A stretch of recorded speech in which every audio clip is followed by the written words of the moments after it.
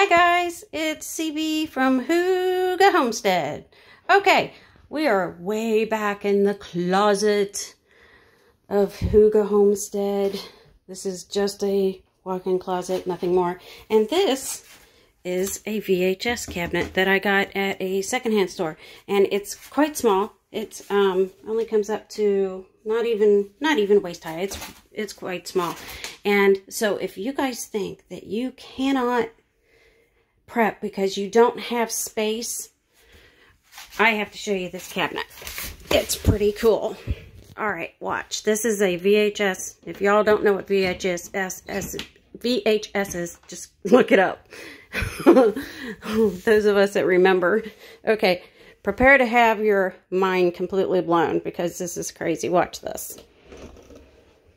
This is how much this one little cabinet can store. All that in one cabinet. So, and then the doors just go like this. And it has a nice little lock on it. And it comes with nice little stickers that were on it when I got it. But that tiny little cabinet held all that. So, yeah, if you think you can't do it, you can do it. And uh, everybody should prep up and keep a stockpile so that everybody's ready and safe in case of whatever the world has for in store for us. All right, like, subscribe, all that stuff. And all right, I'll see you next time. Bye.